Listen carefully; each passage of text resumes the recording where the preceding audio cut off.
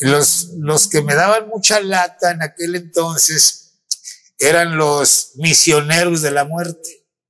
Rudazo. Eh, muy rudos.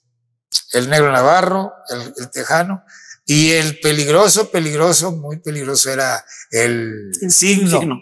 Tenías que tener mucho cuidado con él cuando entrabas en contra de él. Y, y era mucho, muy, ¿cómo se le podría decir? Egoísta. O sea, no te hablaba, no, no, no te tiraba Lucas, te tiraba Leonte. O sea, era muy especial. Pero, pues como te digo yo arriba del ring, no respetaba a nadie, nomás le daba su lugar al que era. Pero yo, si él sabía luchar, yo también sabía luchar. Claro. Y si yo estaba arriba de un ring en contra de él, es por algo. No era por lástima ni por bonito. Es que yo también te, te traía lo mío. Antes no daban facilidades de debutar, o sea, porque estaba ahí, como usted dice, está ahí, es porque ya demostró y los demás ya vieron que tiene calidad. No, y, ya le dieron vuelta a, a los que te están calando para. Es que mira, en la lucha libre, tú eres estrella. Y luego vengo yo de nuevo y me dan el lugar tuyo y a ti te hacen un lado. No, pues, Entonces tú tienes que entrarle para que no te hagan un lado. O sea, tienes que estar allí. ujú. Entonces, pues eh, tenías que echarle ganas. Después vinieron este, los, los compadres del diablo. Era eh, Bluefish, Mongo Chino y, un cen- y yo, Centurión Negro. Éramos, y Caronte. Este, después de que se, se retiró Bluefish, entró Caronte. Pero éramos los compadres del diablo y, y anduvimos nacionalmente los tres.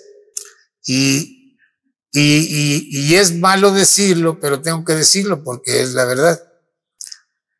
Yo traía una garantía en aquel entonces de, 15 de 35 millones Sí.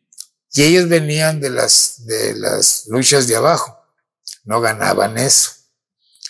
Entonces, pues ellos ganaban menos que yo, mucho menos que yo y a mí lo mío.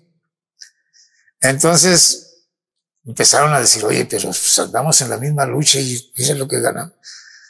pues es que tú no tienes el, el, el, el lugar mío, por eso ellos ya, ellos ya saben a quién pagarle. Y sí, les decía yo, yo les arreglé en muchas partes. Mm. Oye, están luchando conmigo, en pareja conmigo y somos los compadres. Tienen que pagarle lo que gano yo. No, ellos no ganan lo que tú ganas. Tú eres otro tipo de gente. Bueno, aumentales algo. Y ya les aumentaron algo. ¿verdad? Pero no lo que yo ganaba. Y yo gané muy buen dinero en la lucha, me fue muy bien.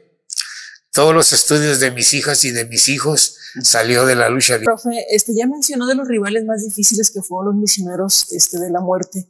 ¿Hubo alguno o más? Sí, cómo no. Carlos Plata, el español, Ok. Carlos Plata, hubo, hubieron los japoneses, eran muy duros, Takano, Saito, Kurisu y Kobayashi, eran muy duros y, y, y, este, muy profesionales. Y luego como no te hablaban, ni te hablan, nomás están ahí haciéndote reverencias. Entonces, y no les entiendes. Entonces es muy peligroso, pero cuando tú sabes luchar, no pasa nada. Si te agarran una, un brazo, tú sabes cómo zafarte. Te agarran una pierna, tú sabes cómo zafarte. Si te pasan hacia atrás, tú sabes cómo quitártelos. O sea, todos lo sabemos, ¿verdad? O sea, no somos unos expertos en la lucha libre, pero sí sabemos lo que hacemos.